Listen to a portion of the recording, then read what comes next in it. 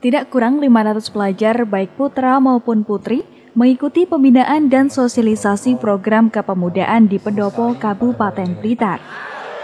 Dalam kegiatan ini, hadir Kepala Dinas Pariwisata, Pemuda dan Olahraga Kabupaten Blitar Luhur Sejati, serta sejumlah narasumber dari kepolisian ataupun duta pelajar yang selama ini mengikuti pertukaran pelajar antar negara.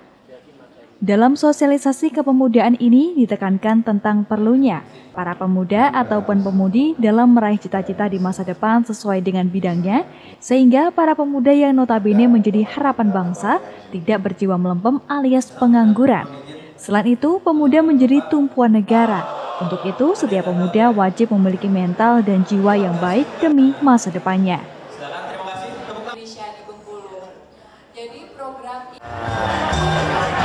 kemajuan bangsa ke depan. Jadi peranan pemuda itu sangat penting dalam mendukung uh, persatuan dan kesatuan NKRI. Jadi kalau pemuda sudah ditanamkan jiwa nasionalis, uh, insya Allah negara Indonesia ini pasti uh, uh, tetap utuh, kemudian akan maju karena masing-masing pemuda pasti punya talenta sendiri. Pentingnya pemuda mendapat sosialisasi tentang kepemudaan agar para pemuda dapat berpegang teguh pada pendirian yang baik serta terhindar dari hal negatif. Selama ini sering ada tawuran antar pelajar yang faktornya karena pemuda kurang memahami makna dan arti pemuda yang sebenarnya.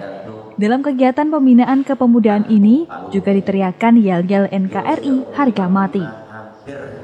Tidak terlalu jauh ditanamkan itu karena kita prihatin juga ketika sedikit-sedikit pasti ada tawuran massa. Ini kan menunjukkan kita tidak usah ngomong negara kesatuan. Kalau itu berarti antar lingkungan aja kan sudah tidak akur. Ini bahaya. Antar lembaga, antar sekolah sudah saling tawuran. Ini bahaya juga. Maka sudah kita kenalkan bahwa aku Indonesia, NKRI harga mati itu adalah merupakan suatu yang harus dimiliki oleh pemuda Indonesia. Dari Blitar, Muhammad Asrofi melaporkan.